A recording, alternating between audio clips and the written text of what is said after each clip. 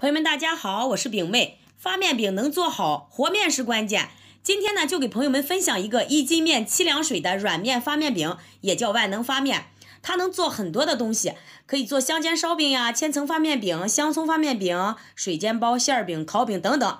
首先呢，我给大家讲一下啊，需要几个注意的方方面。第一个呢，就是面粉的选择，咱们要选择中筋粉，不要选择低筋的，也不要选择高筋的，就选中筋粉就可以。啊，还有一个是水温的掌握。水温的话，冬季、春季、秋季的话，咱们就在四十度左右就可以。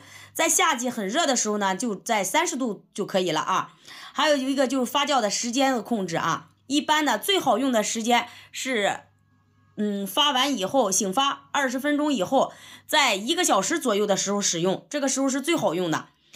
嗯，首先咱们说温度啊，温度不要高了。然后呢，切记的是先倒水再倒面。嗯，这个先那个，我把那个和面的那个比例呀，以文字的方式呀，已经打在了咱们的视频上，大家可以收藏起来，在家里呢自己做的时候啊，呃，可以照着做。嗯，不要忘了给饼妹点点关注，感谢大家啊！咱们这个整个的和面过程哈，就是有五分钟左右吧，也就是给它搅到没有干面为止。和面呀，一定要记得啊，手光、盆光、面光，和出来那个面肯定要好用。嗯，里边有小多小疙瘩呀什么的，那个应该是不好用的啊。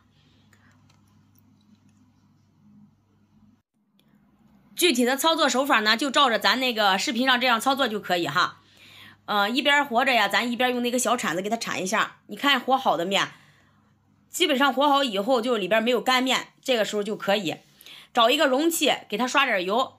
嗯，就让它醒发就可以了。醒发的那个，醒发到那个里边那个蜂窝状特别均匀，那个时候就可以用了。还有什么不明白的，大家可以在评论区打出来，然后可以私信我问我。呃，感谢大家的支持哈，饼妹有时间会和大家分享好多面食的制作。